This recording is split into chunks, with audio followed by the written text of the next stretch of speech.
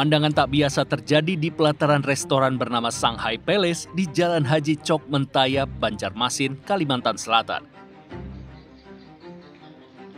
Bangunan ini terdiri dari tiga lantai, yang mana lantai kedua dipergunakan untuk usaha kafe bernama Beluga, serta hotel yang bernama Mentaya Inn yang berada di lantai tiga.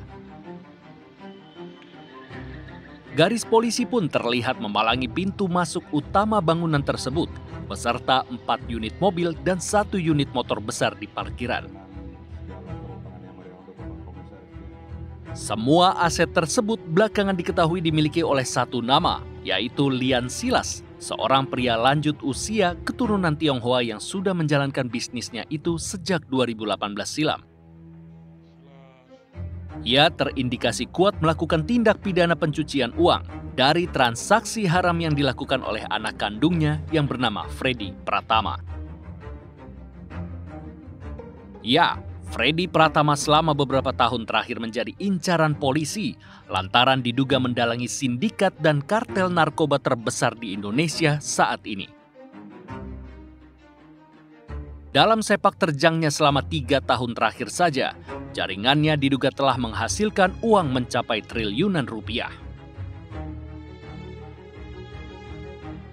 Ya, total dari eh, jumlah barang bukti yang berhasil kita sita kemarin lebih kurang 10 ton. Itu periode 2021, 21, 22, 23, 10 ton. Kalau dikonversi total itu lebih kurang 10,2 triliun eh, barang bukti yang berhasil eh, kita sita. Nah itu khusus untuk TPA. TPA itu adalah tindak pidana asal, yaitu tindak pidana narkotika di luar dari TPPU. TPPU sekitar uh, eh, 500 sampai 600 miliar aset-aset yang berhasil kita sita mulai dari Lampung sampai ke Kalimantan Selatan.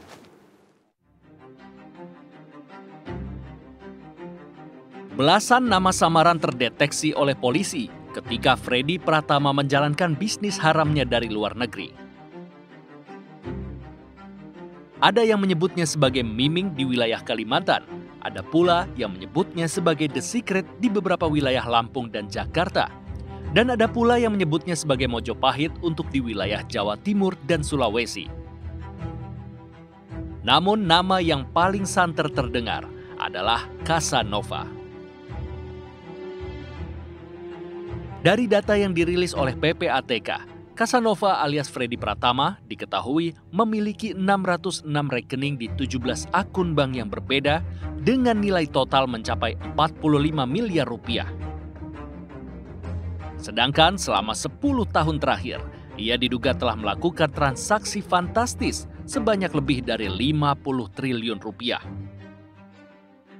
Modusnya sederhana, Freddy merekrut orang-orang kepercayaannya di Indonesia sembari mengendalikan distribusi barang-barang haram yang berasal dari negeri tirai bambu. Salah satu orang kepercayaannya di Indonesia ialah Zulkifli alias Zul, mantan pentolan Benzifilia difonis 18 tahun penjara pada tahun 2019 karena kepemilikan 25 ribu butir pil ekstasi dan 9,5 kilo sabu. Awal Oktober kemarin, Zul kembali dipanggil untuk diperiksa oleh Direktorat 4 Narkoba Bares Krim Polri. yang sejelas-jelasnya dan sangat terang sekali uh, tentang Freddy Pratama dan tidak ada satupun yang saya tutup, tutupi untuk membantu uh, mengungkap kasus uh, Freddy Pratama ini. Sudah kenal lama abang sama Freddy Pratama? Nanti dijelaskan ya.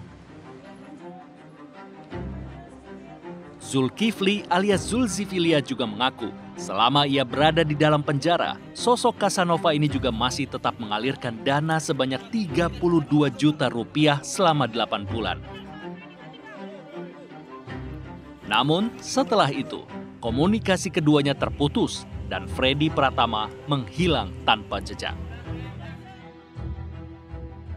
Sosoknya yang dikenal royal kepada orang lain membuat banyak orang dengan mudahnya masuk dan loyal terhadap sindikat ini. Ironisnya, tak sedikit pula aparatur hukum yang ikut silau melihat godaan yang ditawarkan oleh Freddy Pratama. AKP Andri Gustami yang tak lain merupakan mantan kasat reserse narkoba Polres Lampung Selatan turut diamankan tim gabungan dari Dittipit Narkoba Mabes Polri dan Polda Lampung.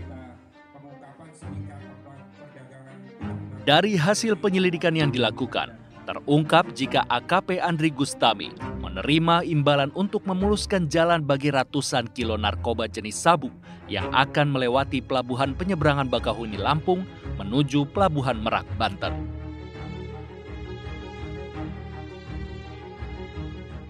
Freddy Pratama punya jejaring. Mereka eh, mereka terbagi di dalam struktur yang cukup rapi, mulai ada pengendali operasional yang mengendalikan barang, kemudian kedua ada juga pengendali keuangan, kemudian ada juga penanggung jawab pembuatan dokumen palsu, kemudian ada juga yang bertanggung jawab yang khusus menarik uang secara tunai dari ATM-ATM yang memang sudah disepakati oleh jaringan ini. Freddy Pratama sungguh licin. Ia diduga mengendalikan sindikat narkobanya dari luar negeri agar tak mudah tertangkap.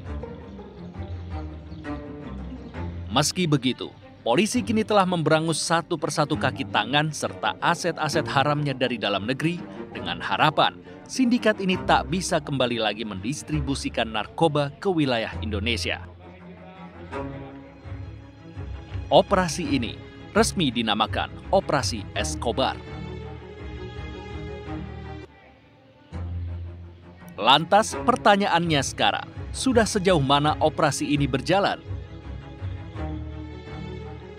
Mengapa pula sosok Freddy Pratama ini seolah sulit sekali untuk ditangkap? Dari Jakarta, tim liputan untuk CSI RTV.